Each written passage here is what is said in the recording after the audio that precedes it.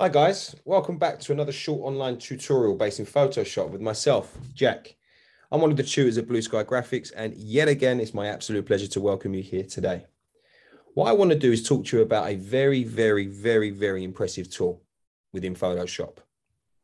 And it's a new addition with the new update of the 2022 version. It's really impressive. Now, what as you can see here, I have this black and white image okay, probably taken over 100 years ago. Um, but what I would like to do now is I'd like to colorize this image. I'd like to bring it to life, okay? And there's a certain filter within Photoshop that we can use to do that. As you can see, I've done it earlier and I've done it on a new layer. Very impressive, right? So what I'm going to do is let's delete this layer, okay? And I'll show you how to do it. So obviously make sure you have your layer highlighted like so. And if you go to filter, we have neural filters. Now, there are a collection of neural filters that I'll be covering in future videos and stuff, but the one that we will be focusing on today is Colorize. So what I'm going to do here is I'm going to turn Colorize on. And as you can see, it's very, very quick.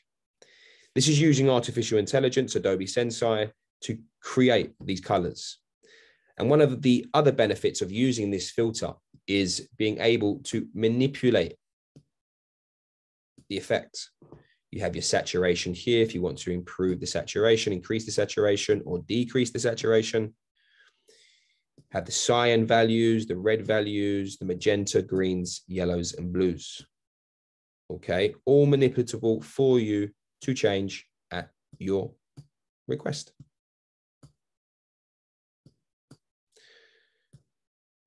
And as you can see here, we have color artifact reduction. So let's maybe bring that up a little bit. Let's say nice noise reduction is your texture and noise that we can increase. I'm pretty happy with that. Now, what you should be concerned of with here is your output settings. So you either have current layer, new layer, new layer mask, smart filter, or new document.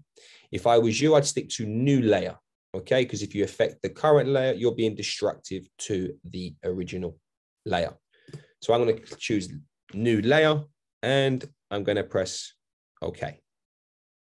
And as you can see, it has applied a new layer with the color effect applied very impressive. So that means you can get images from old World War II, World War II imagery or any family um, photos that you have um, laying around that you may want to bring back to life.